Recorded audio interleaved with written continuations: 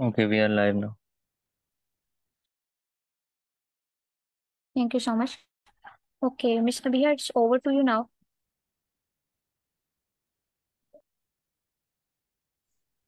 अगर मेरी screen visible है तो आप स्टार्ट कर सकती हैं ओके मैम अस्सलाम वालेकुम एवरीवन आज का कोर्स स्टार्ट करने से पहले तो हम ये जान लेते हैं कि आई कोड क्या है और इसका पर्पस क्या है share share learn and grow सब स्टूडेंट्स यहाँ अपना नॉलेज शेयर करते हैं, दूसरों से लर्न करते हैं और मिलकर ग्रो करते हैं।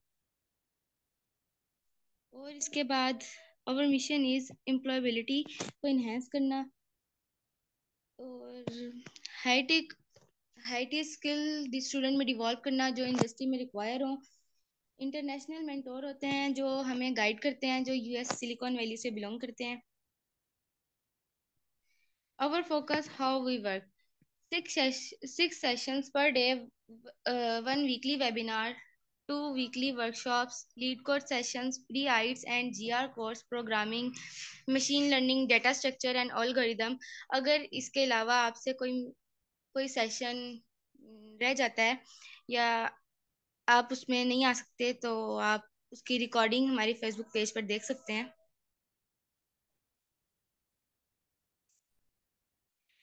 इसके बाद बात कर लेते हैं हमारी रिसेंट अचीवमेंट्स की 200 plus international awards and hackathon in hackathon और कोडिंग कंपटीशन में है, जो fully funded scholarship graduate admission जो हमारे स्कोर कर जो सिक्योर कर लिए हैं local and international internship jobs secure किए हैं और टू हम हर मंथ टू या, एक से ज़्यादा हैकाथन को इंट्रोड्यूस करवाते हैं।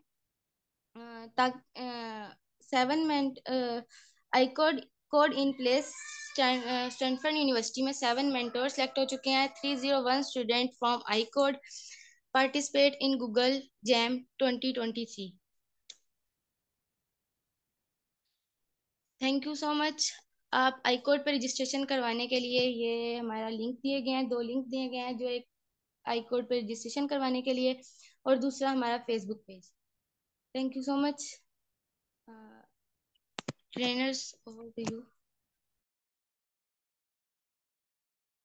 Okay, thank you so much, ma'am. abhi aapne uh, काफ़ी अच्छा एक्सप्लेन किया. Over to the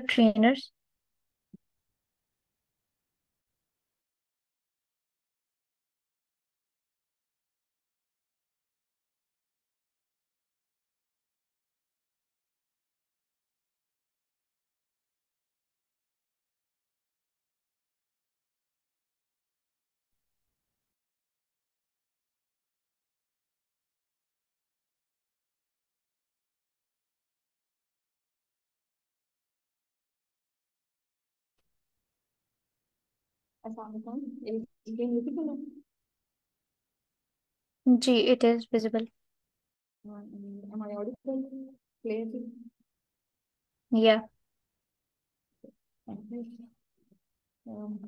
बेसिकली आपको सब पता है जो है हम पाइथन जो है वो स्टार्ट करने लगे हैं और ये जो कोर्स है डिज़ाइन किया गया है बिगनर्स के लिए और वो बिगनर्स जो बेसिकली किसी और फ़ील्ड से लाइक नेचर साइंस के स्टूडेंट्स हैं इसके अलावा सोशल साइंस के स्टूडेंट्स हैं जो उनका दूर दूर तक तक पहले कभी कंप्यूटर से कोई वास्ता नहीं रहा या उन्होंने यूज़ नहीं किया उनको आइडिया नहीं है तो उनके लिए है। मैम सॉरी फॉर इंटरप्शन आप थोड़ा सा लाउडली बोल सकती हैं?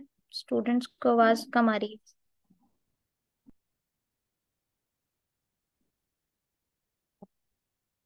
तो बेसिकली हम जो ये जो कोर्स है वो बेसिकली स्टार्ट किया गया नेशनल साइंस स्टूडेंट्स के लिए। तो आप किसी भी बैकग्राउंड से हैं वो ये कोर्स जो है वो लर्न कर सकते हैं। तो मैम अभी मैं ऑडिबल हूँ? जी जी। Yes ma'am you are audible kindly continue okay तो सबसे पहले हम इसकी एक बेसिक जो है इंट्रोडक्शन है, वो देख लेते हैं कि हमें जो है वो पाइथन लर्न करने की नीड क्यों है या किस लिए है, इसका बेसिक पर्पस क्या है या पाइथन क्या है। तो सबसे पहले तो हमें ये पता होना चाहिए कि हम लर्न कर क्यों रहे हैं पाइथन को। तो हमारा इसके पीछे ये मोटिव है कि हमने प्रोग्रामिंग करनी है। अब प्रोग्रामिंग क्या है? बेसिकली वो एक कंप्यूटिंग लैंग्वेज होती है। किसी भी तरह की कोई इंस्ट्रक्शंस होती हैं जो हम कंप्यूटर को प्रोवाइड करते हैं, वो उसके रिगार्डिंग जो है हमें कोई रिज़ल्ट प्रोवाइड करता है। तो ये प्रोग्रामिंग होती है। जैसे कि आप यहाँ पे देख सकते हैं, अगर हम इसको रीड करें तो programming language is an artificial language that can be use to control the behaviour of a machine particularly a computer तो बेसिकली हम एक कंप्यूटर की बात कर रहे हैं, हम एक लैपटॉप की बात कर रहे हैं, इवन कि हम आपके मोबाइल फ़ोन की बात कर रहे हैं, वो एक कंप्यूटिंग सिस्टम है, जिसके पीछे एक लैंग्वेज वर्क कर रही है, जिसके पीछे कुछ इंस्ट्रक्शंस वर्क कर रही हैं, और वो किस लैंग्वेज में है? वो डिफरेंट लैंग्वेजेस में होती हैं। तो हम उन्हीं लैंग्वेज को जो है, उनमें से एक लैंग्वेज को जो है हम लर्न करेंगे। प्रोग्रामिंग लैंग्वेज लाइक ह्यूमंस यहाँ पे अगर हम देखें तो programming language like human languages are defined through the use of syntactic and semantic rules to determine structure and meaning respectively अच्छा बेसिकली क्या है कि हम ह्यूमंस भी एक लैंग्वेज यूज़ कर रहे होते हैं। जैसे मैं अभी आपसे बात कर रही हूँ, मैं बेसिकली एक उर्दू जो है वो मेरा मीडियम है, उसके ज़रिए मैं आपसे कम्युनिकेट कर रही हूँ। तो क्या है, एक लैंग्वेज है और उसको मैं क्या यूज़ कर रही हूँ? इसमें भी मैं सिंटेक्टिक और सिमेंटिक रूल यूज़ कर रही हूँ। अच्छा ये क्या होते हैं? सिंटेक्टिक क्या होता है? बेसिकली मैं यूज़ कर रही हूँ एक प्रॉपर वर्ड्स का और एक ग्रामर का। उसके ज़रिए क्या है, मेरे सेंटेंस की एक सेंस बन रही है। जैसे मैं कोई कहा सब्जेक्ट यूज़ करती हूँ, फिर वर्ब यूज़ करती हूँ, फिर ऑब्जेक्ट यूज़ करती हूँ।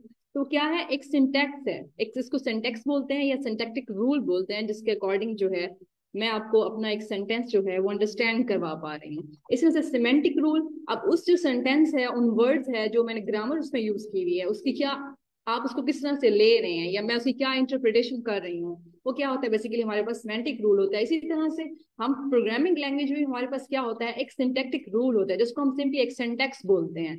हमारी कोई भी लैंग्वेज एक स्पेसिफिक सिंटेक्स में लिखी जाती है। जिसमें से हम लिखते हैं कि अच्छा हमारे पास यहाँ पे सब्जेक्ट हो गया वर्ब हो गया और ऑब्जेक्ट हो गया तो हमारे पास क्या है? कंप्लीट सेंटेंस हो गया। उसी तरह से हमारे पास यहाँ भी एक सेंटेक्स होगा जिसमें हम देखेंगे एक वेरिएबल है और उसके साथ आ, हम कोई भी अपनी टर्मिनोलॉजी लिख रहे हैं जो हमें एज अ लाइक हम इनपुट दे रहे हैं और फिर हमें कोई रिस्पॉन्स चाहिए लाइक हम उसको इस तरह से उसका रिज़ल्ट चाहते हैं तो हम अपना एक सेंटेक्स देखेंगे।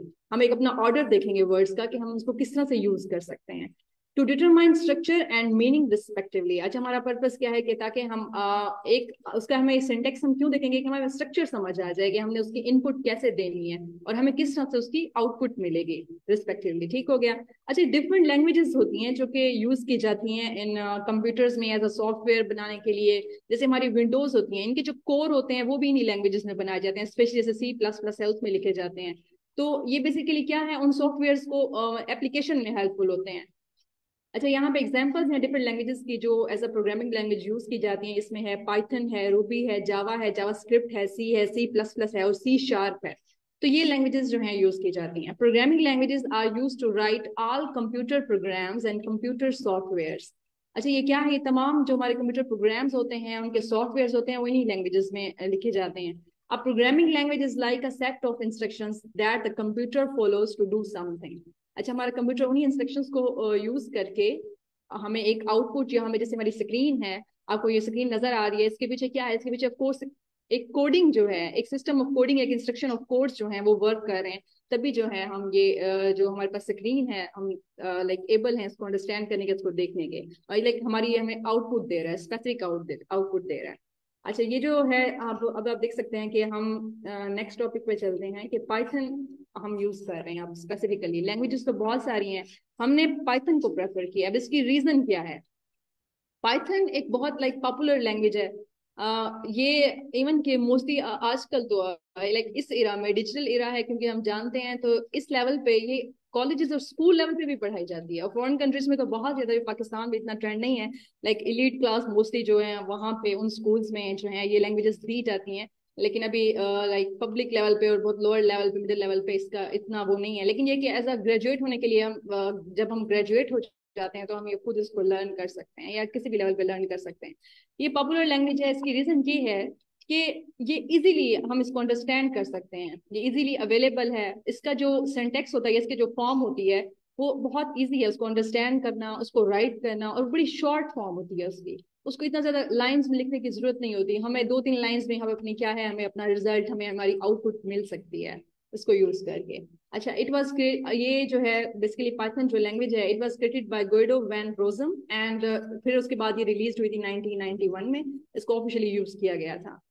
उसके बाद वाई पाइथन एक और क्वेश्चन की लाइक पाइथन ही क्यों, और लैंग्वेजेस क्यों नहीं? ये अगेन आपको एक्सप्लेन कर दूँ कि ये फ्री है। हम इसको, एक तो ये फ्रीली अवेलेबल भी है ओपन सोर्स है, हम इसको डायरेक्टली डाउनलोड कर सकते हैं, इसको फर्दर अपने यूज़ के लिए इसको यूज़ कर सकते हैं, इसकी डिफरेंट लाइब्रेरीज अवेलेबल हैं, जो कि उसमें इनपुट फ़ंक्शंस होते हैं, इसके वो हम जो हैं, वो ऑब्टेन कर सकते हैं और यूज़ कर सकते हैं। इजी टू लर्न है। जैसे हम लोग हैं अभी नेचुरल साइंस के स्टूडेंट्स हैं तो इजीली इसको क्या कर सकते हैं अंडरस्टैंड कर सकते हैं लर्न कर सकते हैं। इसके लिए ज़रूरी नहीं है कि आपका पीछे जो बैकग्राउंड है कंप्यूटर साइंस का हो। अच्छा पोर्टेबल है। पोर्टेबल ये कि हम इसको डिफरेंट मशीन्स पे यूज़ कर सकते हैं कोई मैक यूज़ कर रहा है कोई लैपटॉप यूज़ कर रहा है तो इजीली जो है वो कैरीड या ट्रांसफरेबल होती हैं और इजीली यूज़ की जा सकती हैं। A lot of application including web web web developing app developing in data science ये जो है डिफरेंट सोर्सेज uh, में है। लाइक डिफरेंट इसके यूजेज हैं बेसिकली ये डिफरेंट एप्लीकेशन में इन्वॉल्व होती है इवन के आप वेब डेवलप डेवलपर हैं या ऐप डेवलप कर सकते हैं, इसके साथ डेटा साइंसेस में लाइक डेटा साइंस और एल्गोरिथम्स में पाइथन यूज़ होती है मशीन लर्निंग में यूज़ होती है इवन कि हम लीड कोड के क्वेश्चंस कर रहे हो, उनमें यूज़ होती है। तो इवन के अब पाइथन हम क्यों यूज़ कर रहे हैं, इसका पर्पज यही है कि हम डिफरेंट जो है वर्क जो है, कर सकें, हम भी इस डिजिटल इरा का एक पार्ट बन सकें। हम भी डिफरेंट मशीन्स में हैं मशीन्स में इसकी एज अ इसको इनपुट यूज़ कर सके अपना आउटपुट लेने के लिए। और this language can be treated in a procedural way object oriented way and functional way हम हमारा क्या है, ये ऑब्जेक्ट ओरिएंटेड है। हम स्पेसिफिक जो है, इसको अपने ऑब्जेक्टिव के लिए हम यूज़ कर सकते हैं लाइक स्पेसिफिक हमें आउटपुट चाहिए तो हम इस लैंग्वेज को यूज़ कर सकते हैं। ओके okay, सो so ये एक आपके पास हमारे पास क्या है? एक सिंपल सा इंट्रोडक्शन है पाइथन का और प्रोग्रामिंग का कि हम ये क्यों लर्न कर रहे हैं और ये बेसिकली क्या है? अगर इस इससे रिलेटेड कोई किसी को भी कोई क्वेश्चन है तो प्लीज़ आप कर सकते हैं। अस्सलाम वालेकुम एवरीवन वालेकुम सलाम तो जैसा कि आप लोग देख सकते हैं अभी मैम ने इंट्रोडक्शन दिया है व्हाट इज़ पाइथन पाइथन क्यों ज़रूरी है? तो यहाँ पे एक और क्वेश्चन आता है कि अगर हमारा कंप्यूटर साइंस से पिछले कोई वास्ता नहीं है, हमने कंप्यूटर साइंस नहीं पढ़ी, हम बायोलॉजी के हैं, हम केमिस्ट्री के हैं तो हम कैसे कर सकते हैं? हम कोडिंग कैसे कर सकते हैं? हम कंप्यूटर कैसे कर सकते हैं? तो बिल्कुल आप कर सकते हैं। यहाँ पे मोस्टली वो बच्चे हैं जिनका कंप्यूटर से दूर दूर से पहले कोई वास्ता नहीं था, लेकिन वो आए, उन्होंने पाइथन सीखी है कोड्स बनाए हैं और आज वो अलहमदिल्ला बहुत अच्छी जॉब पे हैं विदाउट एनी कंप्यूटर बैकग्राउंड तो इस बात को अपने माइंड से निकाल दें कि मेरा कंप्यूटर साइंस से कोई रिश्ता नहीं रहा पीछे। तो अब रिश्ता अगर यहाँ आपने बना लिया तो आगे आपके बहुत रिश्ते बन जाएँगे इससे। सी प्लस प्लस आपको आ जाएगी इससे जावा स्क्रिप्ट आगे बहुत सारी लैंग्वेज में यूज़ हो सकती है। तो किसी का कोई डाउट, एनी क्वेश्चन तो फ्रीली अपना माइक अनम्यूट करके पूछ सकते हैं।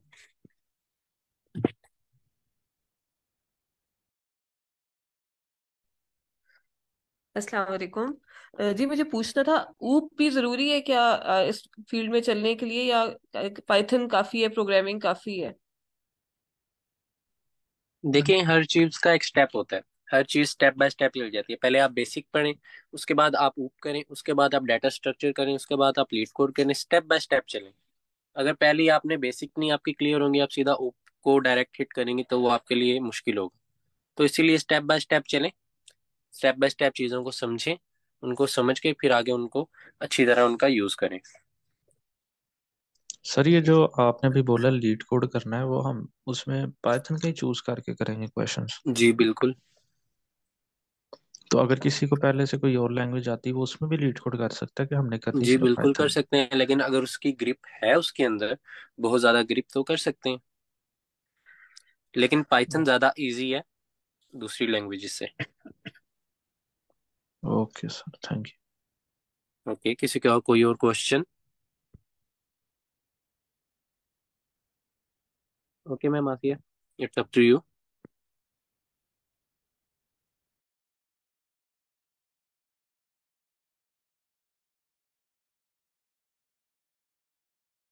yes ma'am Ayesha Mahmood please आप कंटिन्यू करें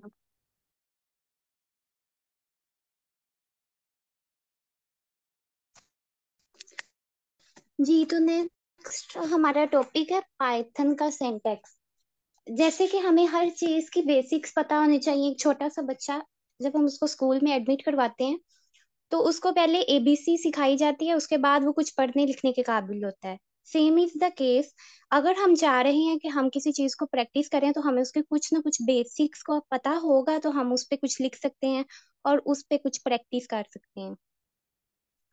तो पाइथन पे जो लिखने का तरीका है, वो कोड की सूरत में होता है। जैसे कि आपके सामने नज़र आ रहा है फ़र्स्ट वाले सेल में लिखा हुआ uses x is equal to हमना ये हमारे पास एक डेटा टाइप है, जिसको हम बोलते हैं स्ट्रिंग टाइप जो डेटा की टाइप्स हैं, ये हम आगे स्टेप बाय स्टेप सीखेंगे। अभी सिर्फ़ ये है कि हमने इसका सेंटेक्स देखना है कि ये होता किस तरह से और इसमें लिखा किस तरह से जाता है। तो उसका इंटरफेस होता है। जैसे आपको स्क्रीन पे नज़र आ रहा है।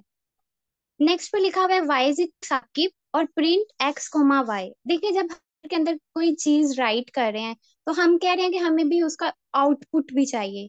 तो सिंपल सी बात है आउटपुट के लिए हमें कोई ना कोई चीज़ उसको देनी पड़ेगी जिससे उसको पता चले भाई, अब हम उससे कुछ मांग रहे हैं और उसने हमें रिटर्न करना है। तो प्रिंट फ़ंक्शन जो है, हमारे कोड को प्रिंट करने के लिए, यानी कि हमें आउटपुट देने के लिए हम लोग यूज़ करते हैं।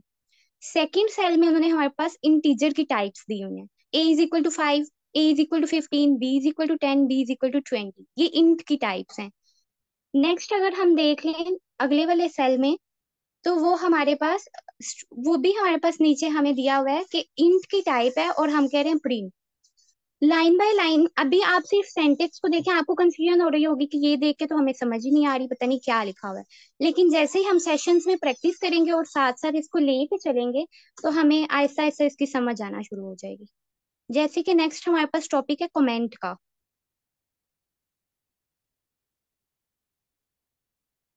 Ma'am I have a question कि हम जो भी प्रिंट करवाना चाह रहे हैं तो why we are taking variables like हम स्टोर क्यों करते हैं उनको वेरिएबल्स में? हम वैसे ही प्रिंट क्यों नहीं करवा सकते? अभी जैसे वाई है वाई में मैम हमने देखें हम वैसे जी हम हम उसको वेरिएबल का नेम नहीं दे रहे और हम ये कह रहे हैं कि हमने प्रिंट करवाना है। हम क्या करेंगे? प्रिंट फ़ंक्शन के जिस चीज़ को हम प्रिंट कर चाह रहे हैं, जैसे यहाँ पे दिया हुआ है the value of a is equal to तो उसको हम डबल क्वेश्चन के अंदर राइट कर देंगे अगर तो वो हमारे पास एज इट इज़ प्रिंट हो जाएगा। मैम माफिया आप जरा इसको रन करके दिखाइएगा।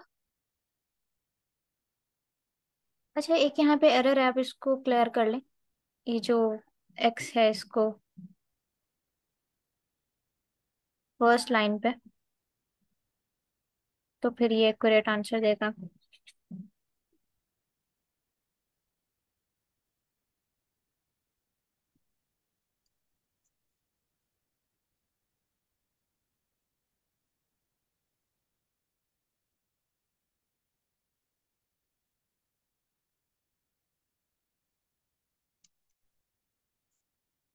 देखें जैसे अब नीचे हमें आउटपुट में शो हो गया the value of a is अब इज़ इक्वल टू फिफ्टीन क्यों लिखा हुआ है? क्योंकि हमने उसके आगे कॉमा लगा के ए राइट किया हुआ है। अगर हम ए राइट नहीं करते तो हमारे पास ओनली आ जाता the value of a is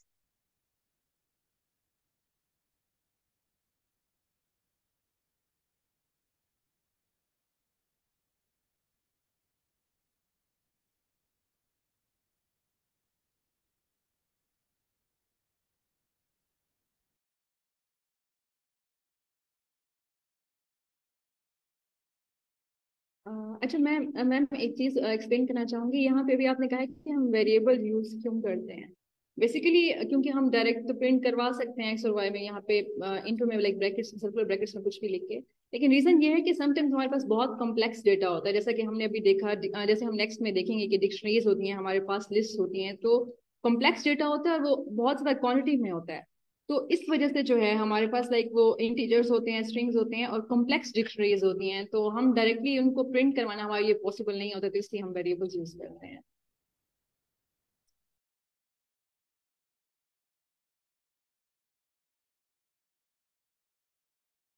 ma'am continue करें आप। जी नेक्स्ट अगर हम देखें कमेंट में जाएँ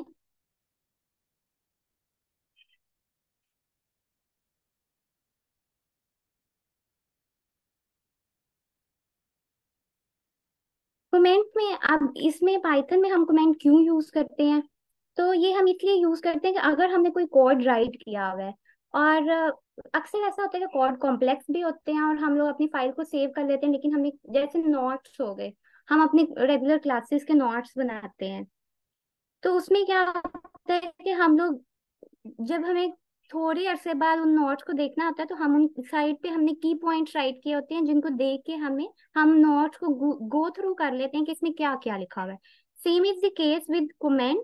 Python में कमेंट को हम इसी चीज़ के लिए यूज़ करते हैं कि अगर हमने कोई कोड राइट किया हुआ है और हम उसकी एक्सप्लेनेशन ऐड करना चाह रहे हैं साइड पे कि हमने ये कोड किस लिए यूज़ किया और इसका क्या पर्पज है। तो हम कमेंट को यूज़ करके हम उसको अपनी एक्सप्लेनेशन को राइट कर सकते हैं। इसको करने से ये होता है कि जो हमने कमेंट के अंदर चीज़ लिखी होती है, वो हमें स्क्रीन पे तो विजिबल होती है, लेकिन हमारे कोड पे वो रन नहीं हो नहीं हो रही होती। जैसे कि अभी कमेंट हमारे पास दो तरह के होते हैं, एक सिंगल लाइन कमेंट होता है और एक मल्टी लाइन कमेंट होता है। अगर हमने एक लाइन में लिखा हुआ है, लेट्स कोई भी चीज़ और हम चाह रहे हैं कि हमने उसको कमेंट करवाना है। तो हम उसके साइड पे ये आपको सिंबल शो हो रहा है हैश का, ये लगा देते हैं। तो इससे ये होता है कि हमारी जो लाइन होती है वो कमेंट हो जाती है। यानी कि वो रन नहीं होती हमारे प्रोग्राम के अंदर, लेकिन हमें ये देख के पता चल रहा होता है कि हमने इसमें क्या किया हुआ है। Same is the case multiple line comments multiple line comments के लिए हम क्या करते हैं? हम थ्री स्लैश लगा देते हैं जैसे आप ये करें डबल कोटेशन उस तरह से हम स्टार्टिंग पे भी लगाते हैं और एंडिंग पे भी लगाते हैं तो वो भी इसी तरह से होता है कि वो उसको उस चीज़ को रन नहीं करता लेकिन हमें ये देख के पता चल जाता है कि हमने इसमें ये काम किया हुआ है। जैसे कि अभी ये फ़र्स्ट सेल में हम देखें तो यहाँ पे लिखा हुआ है it's a course named Python और इसके साथ तीन आ, उन्होंने लेफ़्ट साइड पे लगाए हुए हैं और तीन राइट साइड पे लगाए हैं। जब हमने इसको रन किया तो उसने हमें सिर्फ़ सिक्स प्रिंट करवाया। क्यों? क्योंकि हमने उन, ऊपर जो भी राइट किया हुआ था, उसको हमने कमेंट किया हुआ है। हमें पता चल रहा है कि ये क्या लिखा हुआ है, लेकिन हमारे कोड पे सिर्फ़ वही चीज़ शो हो रही है हमें, जिसको हम प्रिंट करवाना चाह रहे मैंने प्रिंट सिक्स राइट किया तो मेरे पास सिक्स प्रिंट हो गया। नेक्स्ट सेल में अगर हम देखें तो यहाँ पे हमारे पास लिखा हुआ है print let's learn about comments ठीक है, ये मैंने प्रिंट के अंदर लिखा हुआ है। जैसे कि अभी मैंने बताया, अगर हम चाह रहे हैं कि हमने किसी चीज़ को प्रिंट करवाना है तो हम डबल कोटेशन के अंदर जो भी चीज़ लिखेंगे प्रिंट के फ़ंक्शन के साथ, वो चीज़ हमारे पास एज इट इज़ प्रिंट हो जाएगी। और नीचे मैंने लिखा हुआ है print it's a single line comment अब देखिए, यहाँ पे मुझे नीचे शो नहीं हुआ it's a single line comment जबकि मैंने तो उसके साथ प्रिंट का फ़ंक्शन दिया हुआ है। तो आप में से मुझे कोई बताएगा कि ये क्यों प्रिंट नहीं हुआ? क्योंकि ये कमेंट था वो। जी क्योंकि मैंने उसको कमेंट किया है। और ये आप मुझे बताएँगे ओके ये सिंगल लाइन कमेंट था। अगर हम चाह रहे हैं कि मल्टीपल लाइंस पे हमारा कमेंट दिया हो अ, जैसे नीचे वाले सेल में देखें तो हमने लिखा हुआ है प्रिंट मल्टी लाइन स्ट्रिंग और उसके नीचे हमने लिखा हुआ है कुछ आपको दो से तीन लाइंस नज़र आ रही हैं और साइड पे आपको उस मल्टीपल लाइंस को कमेंट करने के जो हमारे पास सिंबल है वो नज़र आ रहा है। तो इसको जब हमने रन किया तो क्या हुआ? देखिए, प्रिंट मल्टी लाइन स्ट्रिंग। देखें प्रिंट के अंदर हम जो भी चीज़ राइट करेंगे वो हमारे पास कमेंट नहीं होगी। क्यों? क्योंकि हमने प्रिंट के अंदर, प्रिंट का काम ही यही है कि उसको हम जो भी चीज़ दे रहे हैं वो हमें प्रिंट कर दे। तो प्रिंट के अंदर मैंने मल्टी लाइन स्ट्रिंग लिखा तो उसने मुझे प्रिंट करवा दिया। जबकि मैंने जो नीचे दो से तीन लाइन राइट की हुई है, उसको उसने प्रिंट नहीं करवाया, क्योंकि मैंने उसको कमेंट किया हुआ था। उसके बाद नीचे लिखा हुआ है print my name is Ayesha I am a student at university I am a good student ये प्रिंट के अंदर मैंने लिखा हुआ था और ये बात आपने हमेशा याद रखनी है कि प्रिंट के अंदर आपने किसी भी चीज़ को राइट करके अगर प्रिंट करवाना है तो आपने डबल कोटेशन नहीं भूलनी अगर आप डबल कोटेशन राइट नहीं करते तो आपका कोड आपको एरर देगा। जैसे कि अभी देखिए, यहाँ पे मैंने इसको कहा तो उसने मुझे नीचे लाइन में शो करवा दिया आउटपुट में my name is Ayesha I am a student at university I am a good student ma'am next करिएगा मैम इसमें मैं एक पॉइंट ऐड करती हूँ कमेंट वाले में। जी जी। कि जैसे इसमें ना कि हम मैथ के क्वेश्चन करते हैं तो हम उसमें अलग से रफ पे करते हैं सॉल्व कि वो अपने आप को समझाने के लिए होता है कि हम इसमें जैसे सब्ट्रैक्शन की एडिशन जो भी हम रफ पे करते हैं हम उसको क्वेश्चन में नहीं करते। तो कमेंट में भी इसी तरह के अगर हम जो उसको प्रिंट कर सॉरी उसको कमेंट करने की उसका मतलब ये है कि हमारे लिए रफ है उसको हम सोल्यूशन में ऐड नहीं करेंगे। वो हमारे लिए ऐसे है कि हम उसको साइड पर रखना है उसको हम अपने सोल्यूशन में नहीं लाते। जी। तो इसी तरह जैसे हमने कमेंट में किया कि अगर हम उससे कमेंट कर देते हैं वो चीज़ हमारी इसमें आ गई क्यों हमने अपने लिए किया अपने आप को समझाने के लिए किया है उसको अपने सोल्यूशन में ऐड नहीं करते। जी। अब नेक्स्ट इसी तरह अगर अभी तक आप में से किसी का कोई भी क्वेश्चन है तो आप पूछ सकते हैं।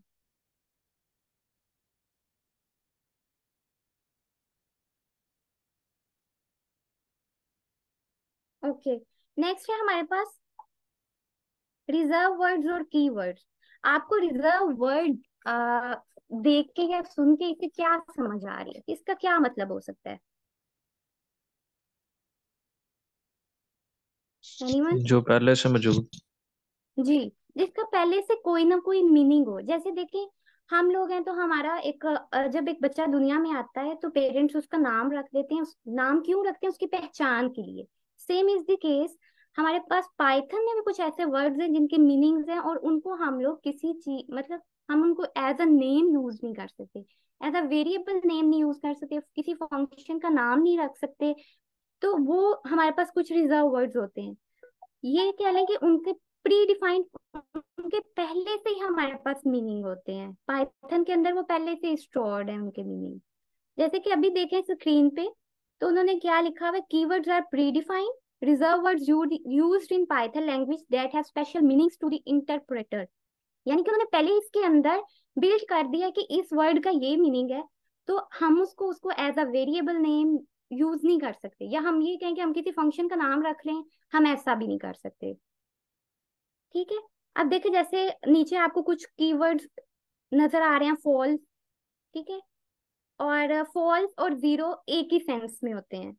उसके बाद इज़ इन लैम्डा ट्रू, ठीक है? None if, elif, break, else continue class, not and और। इसी तरह और भी बहुत सारे की रिज़र्व वर्ड्स होते हैं। तो ये हमें जहन में रखना है कि जो भी हमारे पास रिज़र्व वर्ड्स हैं या की वर्ड्स हैं, उनको हमने कभी भी वेरिएबल के नेम के तौर पे यूज़ नहीं करना, क्योंकि वो हमें एरर दे देगा। आप देखें जैसे नीचे लिखा हुआ है हमारे पास कोड में a is equal to a variable ठीक है? Is is equal to wouldn't allow a variable print a अब देखें ये हमें आपने तो मुझे कोई बताएगा कि क्या ये मैंने वेरिएबल नेम ठीक दिया हुआ है? इज़ इज़ इक्वल टू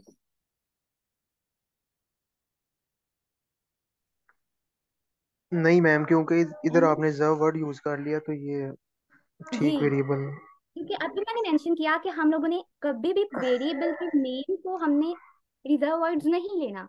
तो हमने यहाँ पे इज़ को यूज़ किया तो वो क्या हुआ? उसने एरर दे दिया, उसने कहा वुडेंट अलो अ वेरिएबल नीचे ये सजेशंस दे रहा होता है हमें कि आपका कहाँ पे एरर है, हम चेक कर सकते हैं। जबकि जब मैंने उसको a is equal to variable कहा तो वो ठीक था। मैंने प्रिंट ए किया। मैम, थोड़ा सा देखिए, ये हमें एरर दे रहा है। जब तक हम इसका एरर ठीक नहीं करेंगे तो ये हमारे पास रन नहीं होगा। मैम ये कमेंट कर दें इज़ वाला पोर्शन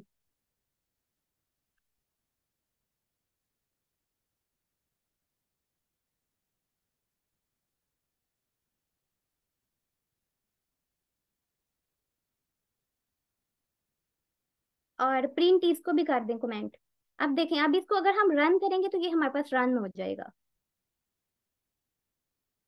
क्यों रन हुआ? क्योंकि इस, इसके अंदर हमारे पास कोई भी एरर नहीं है। अगर हमारे पास एरर होता तो ये हमें आ, बताता कि आपका यहाँ पे एरर है यहाँ पे आपका बग है आप पहले इसको ठीक करें फिर आपका कोड रन होगा। अब नेक्स्ट यहाँ से आ, हमारा वे, पाइथन वेरिएबल्स टॉपिक है। अब देखें अभी आ, हमने जैसे बताया हमारे पास वेरिएबल्स क्या होते हैं? किसी भी चीज़ को डाटा हमारे पास दिया हुआ है मुख्तलिफ़ टाइप्स का। देखिए हमारे पास मुख्तलिफ़ किस्म का डाटा होता है। हमारे पास लिस्ट ऑफ़ नेम्स होते हैं या हमारे पास ईमेल्स की एक फ़ाइल होती है या आप ये कह लें कि हमारे पास इंटीजर्स की जैसे स्कूल में रिपोर्ट्स बनती हैं बच्चों की रिज़ल्ट कार्ड होते हैं तो उसमें क्या होता है बच्चों के नेम भी होते हैं बच्चों की परसेंटेज भी होती है और आ, उनके जो ग्रेड्स होते हैं वो भी होते हैं तो मुख्तलिफ़ थिंग्स इकट्ठी हो गई आ, मतलब अल्फाबेट्स भी इकट्ठे हो गए इंटीजर्स भी इकट्ठे हो गए और पॉइंट्स में भी चीज़ें आ गई ठीक है? तो ये ये हमारे पास क्या ये सारा डाटा है कि हम किस तरह का डाटा स्टोर करवा रहे हैं। अगर हम स्टोर करवाना चाह रहे हैं डाटा तो हमने क्या करना है? हमने उसका एक नाम रख देना है। लेट सपोज़ हमारे पास कंटेनर्स हैं आ, काफ़ी ज़्यादा। एक में शुगर है दूसरे में साल्ट है तीसरे में ऑयल है। What we can do is हम उनके ऊपर पेस्ट कर दें पेंसिल से लिख के भाई ये हमारे पास साल्ट का डब्बा है ये हमारे पास शुगर का है और ये हमारे पास ऑयल का है। तो पाइथन वेरिएबल भी यही है। जब हमने डाटे को कोई नेम देना होता है तो हम उसके अंदर वेरिएबल को इंट्रोड्यूस करा देते हैं। जैसे अभी मैंने राइट किया हुआ फ़र्स्ट सेल में x is equal to five तो ये मैंने क्या किया? फाइव को एक नाम दे दिया भाई। एक्स जो है, वो फाइव है। जो भी फाइव वाला बंदा है, उसको मैंने एक्स का नाम दे दिया। नीचे जो भी टेन पॉइंट थ्री वाला स्टूडेंट है, उसको मैंने वाई का नाम दे दिया। ठीक है? तो अब मैंने क्या कहा? मैंने उसको कहा कि मुझे प्रिंट करवा दो एक्स और नेक्स्ट लाइन में मैंने उसको कह दिया कमांड दे दी ना कि मुझे चाहिए क्या? और मैंने उसको कहा, मुझे प्रिंट करवा दो वाई तो ये क्या करेगा हमारे पास? हमारे पास एक्स को यानी कि फाइव प्रिंट करवा देगा और हमारे पास टेन पॉइंट थ्री अब देखें वेरिएबल्स का हमें फ़ायदा ये होता है कि हम वैसे भी तो कह सकते हैं कि भाई, हम प्रिंट के अंदर भी तो लिख सकते हैं कोई भी चीज़। हमें ज़रूरत ही ना महसूस हो कि हम वेरिएबल वेरिएबल से ये होता है कि हमारे लिए आसानी हो जाती है। अक्सर ऐसा होता है कि हमारे पास बहुत लंबे लंबे पैराग्राफ्स होते हैं, जिनको हमने राइट करना होता है और प्रिंट करवाना होता है। तो अब देखें, अगर हमने प्रिंट के, अभी मैंने आपको बताया कि प्रिंट के अंदर कोई भी चीज़ को डबल कोटेशन के अंदर राइट करें तो वो एज इट इज़ प्रिंट हो जाती। अब मैं ऐसा तो नहीं कर सकती, मेरे पास दो से तीन पेजेस का आ, कोई ऐसे है और उसको मैं प्रिंट के अंदर डबल कोटेशन के अंदर राइट करके कहूँ भाई कि ये मुझे प्रिंट करवा दे। वो थोड़ा डिफ़िकल्ट काम हो जाता है। एज कंपेयर कि हम उसको एक नाम दे दें और हम उसके आगे सारी उसकी जो भी चीज़ का हमने नाम दिया है वो लिख दें और डायरेक्ट हम उस सिंपल से छोटे से नाम को राइट करें भाई x is equal to print x तो वो हमें हमारी चीज़ को प्रिंट करवा देता है। अब आप यहाँ देख रहे होंगे कि जब मैंने प्रिंट एक्स का किया तो उसने मुझे एक्स क्यों दिया? आपको नहीं लगता कि यहाँ पे मुझे उसे फाइव देना चाहिए था? एनीवन हम कोटेशन के अंदर लिखा है इसलिए जी क्योंकि मैंने उसको सिंगल कोटेशन या डबल कोटेशन हो तो चीज़ एज इट इज़ प्रिंट हो जाएगी। अगर मैं ये नहीं लगाती मैम इसको रिमूव कीजिएगा। सिंगल कोटेशन को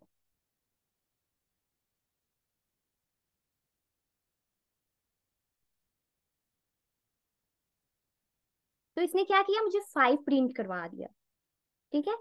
नेक्स्ट हमने इसको कहा प्रिंट वाई तो उसने मुझे टेन पॉइंट थ्री प्रिंट करवा दिया। अब अगर मैं चाह रही हूँ कि मेरे पास एक मतलब स्टेप बाय स्टेप लाइंस अलग अलग लाइंस में चीज़ें ना प्रिंट हो, एक ही लाइन में प्रिंट हो जाए तो मैंने उसको क्या किया? मैंने कहा प्रिंट एक्स कोमा वाई तो उससे करने से ये हुआ कि मेरे पास फाइव भी आ गया और मेरे पास टेन पॉइंट थ्री भी आ गया। ठीक है? एक ही लाइन के अंदर। अगर नेक्स्ट वाले कॉर्ड में हम देखें तो हमारे पास लिखा हुआ है a is equal to I code अगर आप ऊपर वाले सेल में देखें तो उसमें क्या है? हमारे पास इंटीजर और फ्लोट की टाइप थी। इंटीजर ये होता है कि ज़ीरो टू वन मतलब ज़ीरो टू नाइन जो भी हमारे पास काउंटिंग्स में वर्ड्स हैं। वन हो गया टेन हो गया हंड्रेड हो गया थाउज़ेंड हो गया टेन थाउज़ेंड हो गया वन लैख हो गया। ठीक है? अगर हम इंटीजर में लिख रहे हैं तो वो इंटीजर टाइप है। लेकिन अगर हमारे पास कोई ऐसी टाइप है, जिसके अंदर हमारे पास डेसिमल्स आ रहे हैं तो उसको हम फ्लोट टाइप बोलते हैं। और अगर हमारे पास इंग्लिश के कोई वर्ड है या कोई करेक्टर है और उस, वो हमारे पास क्या है, वो हमारे पास स्ट्रिंग की टाइप कंसीडर होगी, इन दी केस अगर उसको हमने डबल कोटेशन के अंदर लिखा हुआ है। देखें, ये इंटीजर टाइप ये फ्लोट टाइप और अगर आप नेक्स्ट सेल में देखें तो ये हमारे पास स्ट्रिंग की टाइप है। अब ये स्ट्रिंग की टाइप क्यों है? क्योंकि मैंने इसको डबल कोटेशन के अंदर लिखा हुआ अब आप ये भी सोच सकते हैं कि भाई प्रिंट के अंदर अगर हमने किसी चीज़ को डबल कोटेशन के अंदर लिखा है तो वो भी तो उसकी टाइप होगी। टाइप में क्या है? जो भी चीज़ डबल कोटेशन में होगी, यहाँ पे मैं डबल कोटेशन के अंदर मैंने आई कोड लिखा हुआ है। आप ये सोच रहे होंगे कि भाई ये एक इंग्लिश का अल्फ़ाबेट है तो इसलिए ये स्ट्रिंग है। ऐसा नहीं है। डबल कोटेशन के अंदर जो भी चीज़ होगी, वो हमारे पास स्ट्रिंग टाइप होगी। जैसे अगर अभी आ, अभी ये देखें तो इसमें a is equal to I code b is equal to guru और मैंने कहा प्रिंट ए एंड बी मुझे ए और बी को प्रिंट करवा दो उसने मुझे नीचे आई कोड गुरु को प्रिंट करवा दिया। लेकिन अगर मैं यहाँ पे आई कोड को रिमूव करके नाइन राइट कर दू मैम यहाँ पे राइट करिएगा।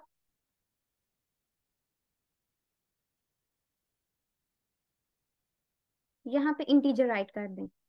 इंटीजर या फ्लोट कोई भी टाइप राइट कर दें। और इसको डबल कोटेशन में कर दें।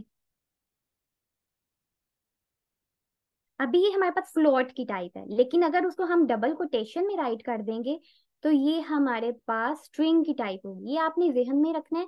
स्ट्रिंग टाइप कौन सी टाइप है जिसको हम डबल कोटेशन के अंदर राइट करेंगे? इंटीजर तो सबको ही पता है। इंटीजर क्या होता है? और फ्लोट टाइप जो भी डेसिमल्स में वैल्यूज़ होंगी। पॉइंट फाइव ये मेरे पास स्ट्रिंग की टाइप है। हम आगे जाके टाइप भी देखेंगे कि टाइप हमें कैसे पता चलेगा कि इसकी टाइप क्या है? सी में सी प्लस प्लस में तो ये होता है ना, हम पहले उसको एंटर करवाते हैं भाई इंट और फिर हम आगे पहले डाटा की टाइप लिखते हैं और फिर हम आगे अपना कोड लिखते हैं। इसमें यही हमें होता है कि हम लोग हमें ये नहीं पहले से इंट्रोड्यूस करवाना पड़ता कि भाई ये इसकी टाइप है। ठीक है? नेक्स्ट देखिए, अगर आप अब ऊपर हमने किया तो हमने एक्स कोमा वाई प्रिंट जब करवाया था तो हमारे पास फाइव और टेन पॉइंट थ्री जो है वो शो हो गया था।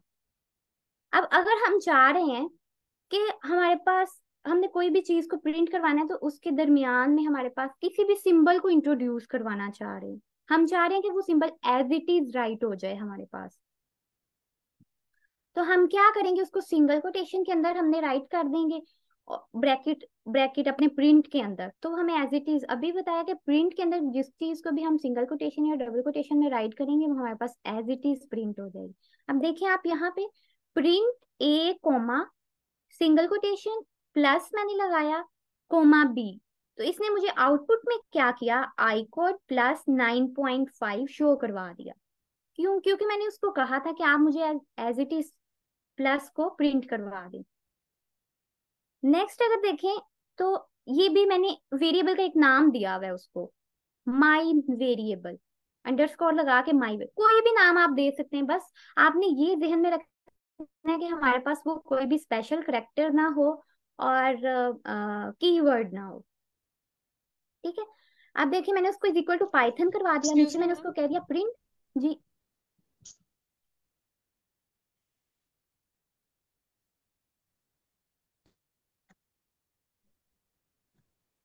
जी बोलिए आप में से किसी का कोई क्वेश्चन है? मैम है इसमें एक am I audible yes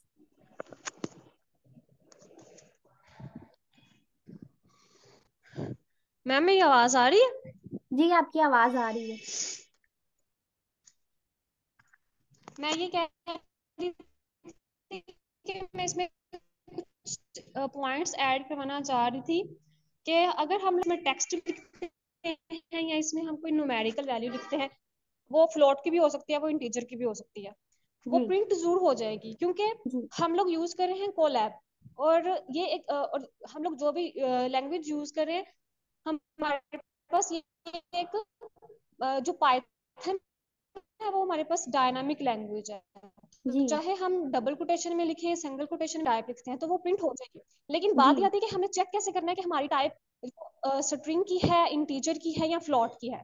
तो इसके लिए मैम जो स्क्रीन शेयर कर रही है वो प्लीज़ यहाँ पे लिखिएगा प्रिंट ए कोमा बी के नीचे।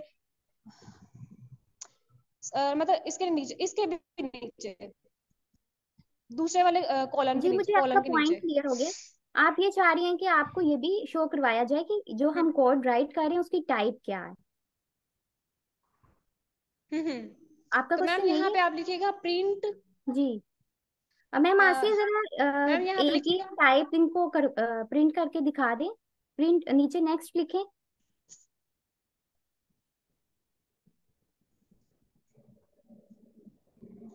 जब भी हमने किसी कोड की टाइप हमें मालूम करनी होती है तो हमें ना बिल्डिंग फ़ंक्शन होता है टाइप का। तो हमें वो लिखना होता है। जब हम वो लिखते हैं तो हमारे पास कोड की टाइप जो है ना वो शो हो जाती है। जो कि हम आगे ज़रूर सीखेंगे। अभी हम बेसिक्स पढ़ रहे थे तो इसलिए लिखें टाइप ए डबल ब्रैकेट लगा के, और इसको रन करवा दें।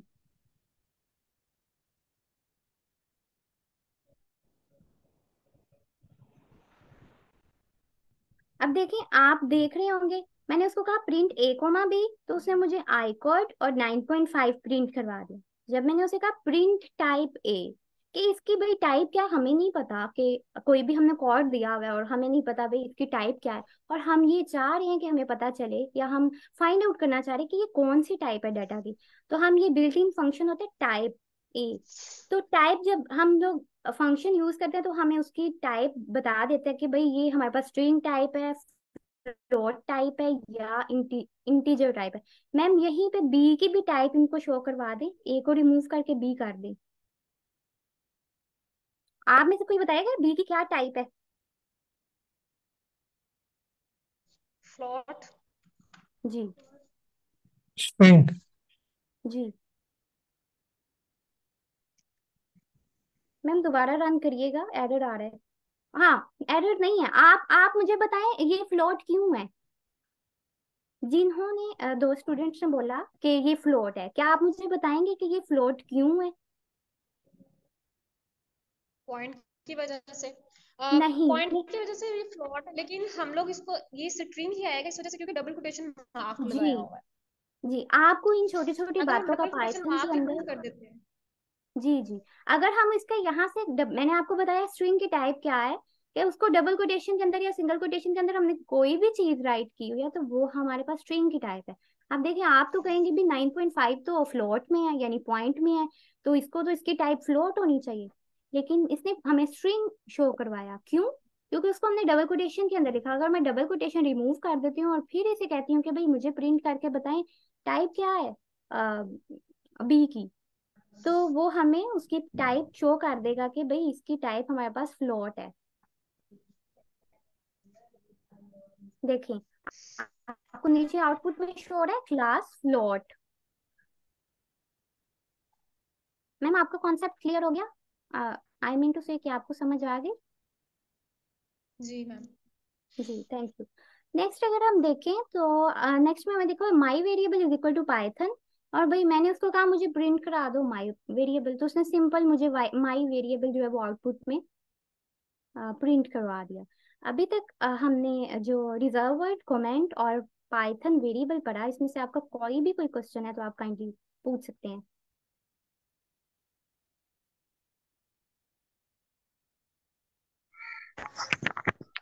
मैम ये इधर बताइएगा कि ये जो my variable is equal to Python हमने उसको दी है तो उसने पाइथन क्यों नहीं किया प्रिंट ओके ऑल राइट अब भी मैंने आपको ऊपर बताया। आ, मैंने आपको पहले भी कहा कि हमें पाइथन में छोटी छोटी चीज़ों का आ, बहुत ख्याल रखना पड़ता है क्योंकि इसमें हर चीज़ का एक मीनिंग होता है ठीक है? मैंने आपसे बोला कि प्रिंट के अंदर डबल कोटेशन के अंदर जो भी चीज़ राइट करेंगे वो एज इट इज़ प्रिंट हो जाएगी हमारे तो देखिए मैंने प्रिंट के बाद क्या किया हुआ है? डबल कोटेशंस लगाई हुई हैं और उसके अंदर मैंने माई वेरिएबल राइट किया हुआ है।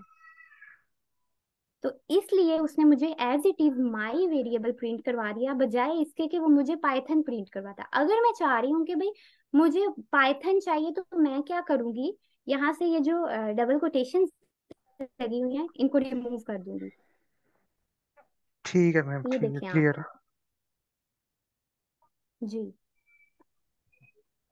मैम माई वेरिएबल में जो हमने स्लैश यूज़ किया है अगर हम ये यूज़ ना करें एरर क्यों देता है?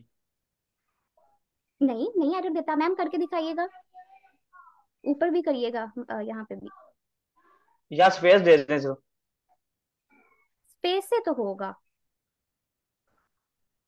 ये स्लैश क्यों यूज़ करते हैं?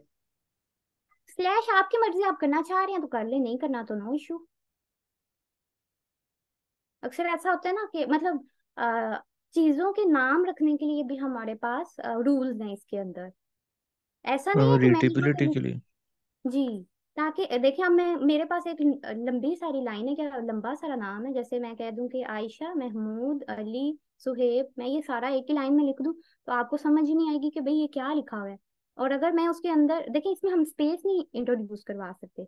रूल्स है न- मतलब नाम रखने के रूल्स हैं, जैसे अब एक बच्चा पैदा हुआ है और हम उसे कहीं, भाई, इसका नाम नो है।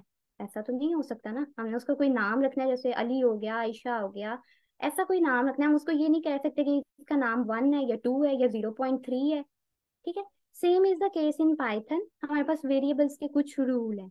हमने जब किसी चीज़ को कोई नाम देना है तो हमारे पास नाम देने के तरीके हैं कि हमने उसको किस तरह से नाम देना है और किस तरह से नहीं देना। जैसे एक रूल तो अभी हमने पढ़ भी लिया। ऊपर में से कोई बताएगा कि वो क्या रूल पढ़ा हमने? मैम रिज़र्व वर्ड नहीं होना चाहिए। जी कि हमारे पास वेरिएबल का नेम रिज़र्व वर्ड नहीं होना चाहिए। अब नीचे हम रूल्स को देखते हैं असाइनिंग वेरिएबल्स अब क्या लिखा हुआ है? A variable must start with the letter और द अंडरस्कोर करेक्टर जब भी हमने किसी चीज़ को वेरिएबल का नेम देना है तो वो हमारे पास या तो कोई लेटर होगा या हम उसके अंदर अंडरस्कोर ये जो ऊपर आप कह रहे थे कि मैम ये स्लैश क्यों है? उसको अंडरस्कोर बोलते हैं ठीक है? वो अंडरस्कोर हम लगा सकते हैं या हम कोई भी सिंपल नेम राइट सकते कर सकते हैं। And there must be no white space in a variable name name के दरमियान हमारे पास स्पेस नहीं होनी चाहिए क्योंकि पाइथन के अंदर स्पेस का भी मीनिंग है। अगर हम स्पेस प्रिंट करवा रहे हैं ना और हम चाह रहे हैं भाई हमें स्पेस चाहिए तो हम वो आ, उसको स्पेस का फ़ंक्शन लगाते हैं जब तो हमारे पास स्पेस भी शो हो जाती है। ठीक है? A variable name can not start with a number ठीक है? यहाँ पे हम ये नहीं कह सकते कि भाई मैं यहाँ पे लिख दूँ जैसे ये नीचे सेल में लिखा हुआ है age is equal to three ठीक है? ये मैंने एक नेम दिया हुआ है ना? यहाँ पे आप में से कोई मुझे बताएगा कि वेरिएबल क्या है? एज है थ्री जी। तो अब मैं यहाँ पे ये नहीं कह सकती कि मैं एज को रिमूव कर दूँ और यहाँ पे कोई खाली जगह छोड़ दूँ और कहूँ कि भाई ये मेरे पास वेरिएबल का नेम है। ऐसा नहीं हो सकता वाइट स्पेस नहीं होनी चाहिए। सेकंड क्या है कि हम मैं यहाँ पे एज रिमूव करके nine to ten point three ऐसा नेम नहीं रख सकती। कोई नंबर नहीं होना चाहिए मेरे पास। ठीक है? लेटर हो या अंडरस्कोर अंडरस्कोर हम लगा सकते हैं। अभी आपने जैसे खुद मेंशन किया कि रीडेबिलिटी के लिए। ठीक है? नेक्स्ट में क्या है कि variable name can only contain alphanumeric characters alpha alpha mean a to z numeric mean zero to nine. और अंडरस्कोर आपको आगे यहाँ पे ब्रैकेट्स में शो हो रहा होगा ए टू जी ये हमारे पास अल्फ़ा हो गया ज़ीरो टू नाइन हमारे पास न्यूमेरिक हो गए, और अंडरस्कोर का ये चीज़ें हम यूज़ कर सकते हैं अपने वेरिएबल को कोई भी नेम असाइन करने के लिए। अब देखें no special characters are allowed special characters वो वही होगे ना, जिनके स्पेशल करेक्टर और कीवर्ड्स एक की बात है, भाई, जिनके कोई ना कोई मीनिंग है। जैसे कि आपको ईमेल के लिए हम किसी को मेंशन करना चाहें तो एट यूज़ करते हैं। इसका मीनिंग है डॉलर के साइन का मीनिंग है पाइथन के आगे डॉलर का साइन लिखा हुआ है। तो ये इनवैलिड है इनके खुद के प्री डिफाइंड मीनिंग्स हैं इनको हम वेरिएबल के नेम के अंदर यूज़ नहीं करेंगे। ठीक है? उसके बाद क्या है? Variable names are case sensitive ठीक है? अब ये केस सेंसिटिव क्या है? आ, थोड़ा सा आपको हिंट दे देती हूँ। ये कह लें कि भाई केस होते हैं ना हम कह रहे हैं भाई अल्फ़ा अल्फाबेटिकली लिख दें। या आप ऐसा करें कि कैपिटल लेटर्स में लिख दें कोई किसी वर्ड को या ऐसा करें कि स्मॉल में लिख दें और तीसरी केस क्या भाई उसको आ, हर पैराग्राफ का जो लाइन का पहला वर्ड है वो कैपिटल कर दें बाकी सारे स्मॉल कर दें। ठीक है? तो ये केसेस होते हैं। ये हम आगे डिस्कस करेंगे कि ये किस तरह के केसेस यानी कि हम चाह रहे हैं हम अपना जो वेरिएबल का नेम है वो सारा का सारा स्मॉल लेटर्स में लिख दें या सारा का सारा कैपिटल लेटर्स में लिख दें या कॉम्बिनेशन में लिख दें स्मॉल और कैपिटल लेटर्स में। जैसे यहाँ पे देखें तो एज जो है वो स्मॉल में, जबकि अगला वाला एज जो है उसमें ए कैपिटल है। और एंड के बाद जो ए है वो पूरा का पूरा कैपिटलाइज हुआ है कैपिटल लेटर्स में है, ठीक है?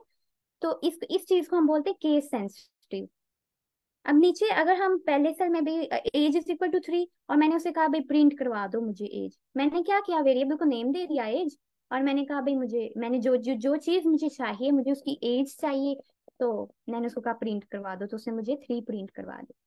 ठीक है? यानी कि फ़र्स्ट हमारा रूल हो गया कि हम कोई भी लेटर रख सकते हैं। अब सेकंड रूल क्या था कि अंडरस्कोर भी यूज़ कर सकते हैं। तो उसमें उन्होंने क्या यूज़ किया? अंडरस्कोर यूज़ किया और फिर आगे राइट कर दिया माई वेरिएबल फाइव अब देखिए, आपको नज़र आ रहा होगा कॉम्बिनेशन है तीनों चीज़ों का। अंडरस्कोर भी यूज़ हुआ है लेटर भी यूज़ हुए हैं और न्यूमेरिक यानी कि फाइव भी यूज़ हुआ है हमारे पास। ठीक है? तो उसका मैंने वेरिएबल का नाम रखा और मैंने, ऐसा नहीं मैं कर सकती कि मैं यहाँ से ये अंडरस्कोर माई और वेरिएबल हटा दूँ और मैं कहूँ, भाई, केला फाइव लिख दो, ये मेरे वेरिएबल का नाम है। ऐसा नहीं है, ठीक है? तो मैंने उसको कहा I code guru double quotation के अंदर। नीचे मैंने उसको एक और नाम दे दिया my variable name is equal to ninety five इसमें आप देखें डिफरेंस क्या है। माई का एम छोटा है वी का कैपिटल है एन का कैपिटल है। इसमें अक्सर ये मिस्टेक्स करते हैं स्टूडेंट्स के साथ हो जाती है कि वो क्या करते हैं वेरिएबल का नाम उन्होंने कैपिटल लेटर में राइट किया होता है और जब वो प्रिंट करवा रहे होते हैं ना तो उसमें वो स्मॉल लेटर में लिख के करवाई जा रहे होते हैं। जैसे लेट्स सपोज़ यहाँ पे है age is equal to three और मैंने प्रिंट एज किया हुआ है, लेकिन मैं यहाँ पे प्रिंट में क्या करती हूँ भाई?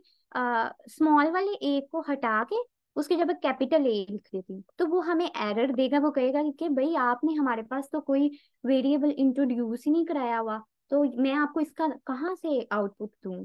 तो इन चीज़ों का ख्याल रखना है कि जो आप वेरिएबल का नेम दे रहे हैं, आपने प्रिंट के अंदर वही name as it is write करना है। अगर आप उसमें मिस्टेक कर रहे हैं तो वो आपको एरर देगा। इस तरह देखिए, नेम सेम है थर्ड वाले में माई वेरिएबल नेम डिफरेंस क्या है? आप में से कोई बताएगा? देखिए, लिखे तो दोनों माई वेरिएबल नेम है। नाइन्टी फाइव और पाकिस्तान।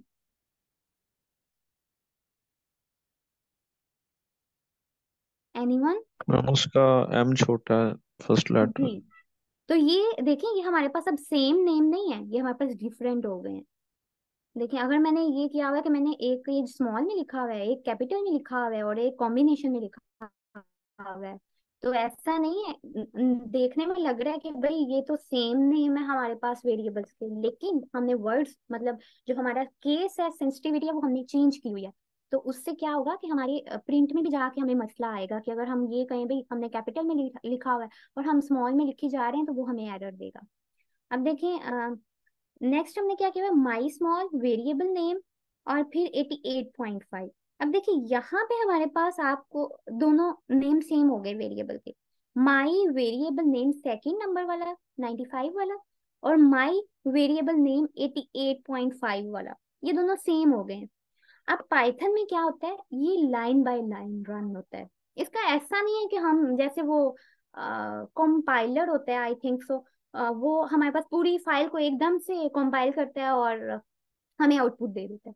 इसमें ऐसा नहीं होता। इसमें जब हम कोड एंटर करते हैं ना तो उसमें लाइन बाय लाइन हमारे पास रन होना होता है। पहले उसने पहली लाइन रीड करनी है, क्या लिखा हुआ है, फिर उसने दूसरी लाइन रीड करनी है, फिर उसने तीसरी करनी है, फिर उसने चौथी करनी है। अब देखिए, मैंने उसको कहा प्रिंट माई वेरिएबल नेम तो उसने मुझे 88.5 ओनली रिटर्न कर, उसने मुझे 95 क्यों नहीं रिटर्न करवाया? ये क्वेश्चन भी तो हो सकता है ना कि भाई मैम हमने तो उसको माई वेरिएबल नेम दिया है और वेरिएबल दोनों के सेम है। तो उसे हमें 95 भी तो प्रिंट करवाना चाहिए था उसने 88.5 क्यों करवाया? तो, तो इसमें क्या होता है चीज़ें अपडेट हो जाती हैं। मैंने आपको अभी बताया कि ये लाइन बाय लाइन रन होता है। इसने पहले पहली लाइन देखनी है फिर उसने दूसरी लाइन देखनी है फिर देखिए ना एक बच्चा है भाई उसने उसका नेम है अली कैली। उसने मार्क्स अटेन किए हैं फ़र्स्ट टेस्ट में टेन नेक्स्ट में उसने किए हैं ट्वेंटी टेस्ट सेम है. उसने पहले भी वही टेस्ट दिया, बाद में भी वही टेस्ट दिया. तो अब क्या होगा कि उसके मार्क्स इंक्रीज हो गए ट्वेंटी हो गए. इसमें पाइथन में भी यही होता है कि ये अपडेट कर देता है वैल्यू को. अगर हमारे पास कोई सेम वैल्यू उन्होंने दी हुई है ना, और हमने उसकी वेरिएबल नेम सेम है, लेकिन वैल्यूज़ हमने उसको कोई और और दी हुई है तो जो हमारे पास ये कह लें लाइन बाय लाइन है तो जो एंड पे वैल्यू आ रही होगी उसमें हमें वो प्रिंट करा के देनी है. ऐसा नहीं कि सबसे ऊपर वाली वैल्यू दे देगा, नहीं. जो पास एंड पे वैल्यू होगी, वो प्रिंट करवा के देगा। देखें, उसने हमें इसीलिए 95 प्रिंट नहीं करवाया, लेकिन 88.5 करवाया। और इसमें ऐसा नहीं है कि हम ये कहीं, भाई, इसने 95 को देखा ही नहीं। 95 से वो होके आया, उसने आगे आके देखा, उसने कहा, ये नेम फिर भी है। तो उसने उसकी वैल्यू को अपडेट कर दिया कि वो 95 से चेंज होके 88.5 हो गई। ठीक है? अभी तक कोई किसी का क्वेश्चन है तो काइंडली पूछ ले। मैम क्लास की टाइमिंग क्या है? ये एक घंटे की क्लास है। हमारा टाइम एंड होने वाला है। यस मैम ओके मैम ये हमें सीट मिल सकती है कोलैब की? जी मैं आपके साथ ये सेशन के टाइम पे चैनल में शेयर कर दूँगी। आप इस पे प्रैक्टिस भी करिएगा। देखिए जब आप कोई ऐसा नहीं है कि आप एक चीज़ कहें कि भाई हम बैठ के सुनते जा रहे हैं और हम उसकी कोई प्रैक्टिस ना करें और वो हद, हमें हजम भी हो जाए। यहाँ पे आप आपको समझ आएगी आप सीखेंगे भी। लेकिन अगर आप खुद से प्रैक्टिस नहीं कर रहे तो कोई फ़ायदा ही नहीं तो ऐसा है ना हम लोग एक हमारे पास एक गिलास है और उसके अंदर हम दूध देते जा रहे हैं और वो गिरता जा रहा है। मैम सेशन का टाइम एंड हो गया। ओके सर अगर आपका कोई क्वेश्चन है तो आप चैनल में पूछ सकते हैं। हम नेक्स्ट स्टार्ट करेंगे नेक्स्ट क्लास में। Thank you so much ma'am आपने बहुत अच्छा एक्सप्लेन किया। Uh, मैंने एक चीज़ ऐड करनी थी कि प्लीज़ काइंडली नेक्स्ट डे से मेक श्योर sure करें कि सब अपने ओरिजिनल नेम और फुल नेम से ज्वाइन करें। एंड मैं सर आप प्लीज़ सेशन के स्टार्ट पे ही देख सबको एक्सप्लेन कर मतलब कह दीजिएगा कि प्लीज़ अपना फुल नेम से ज्वाइन करें और फिर उसको मार्क कीजिएगा उनके attendance thank you ma'am Ayesha ma'am आप जी मैम ऐसे होगा।